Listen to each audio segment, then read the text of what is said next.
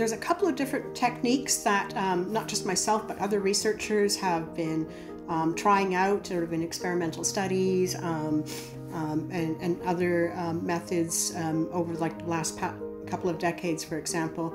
and there's two that seem to show to be the most effective.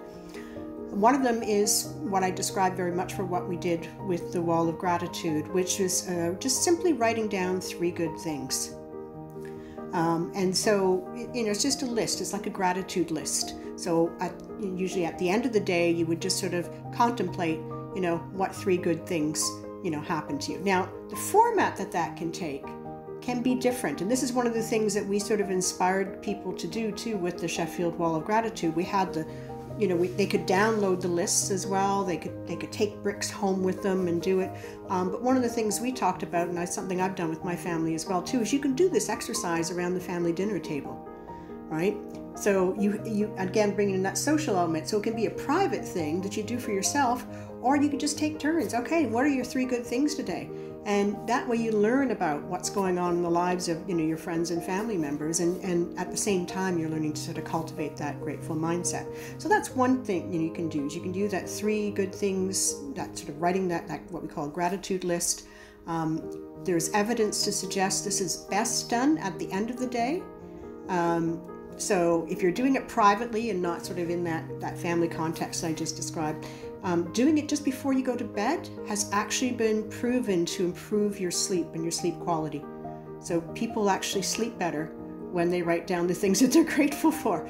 It has a very powerful effect again. I think because again, it, it, it, you you know you're ending your day not worrying about all the things you didn't get done and all the things that didn't go right. You're thinking about the things that actually went pretty good and that you're really grateful that happened, and that allows you to sort of relax a bit more and um, and enjoy a better night's sleep. So there is some scientific evidence suggesting that's the best time to do that.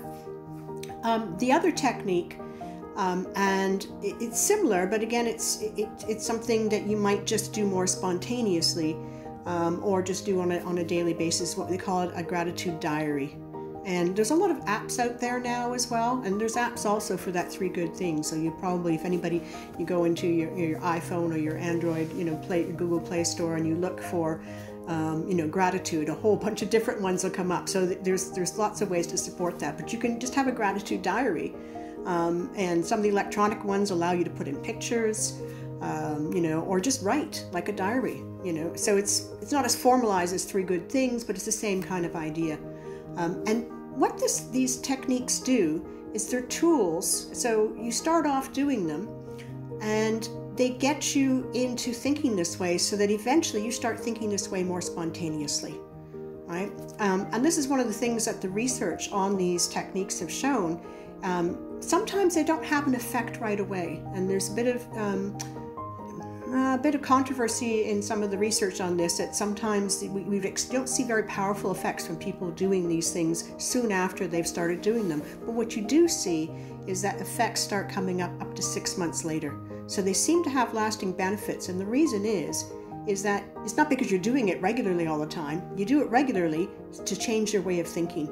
Once your way of thinking is changed and you have more of a grateful mindset, you just do it spontaneously, and you can see that that would have more lasting benefits.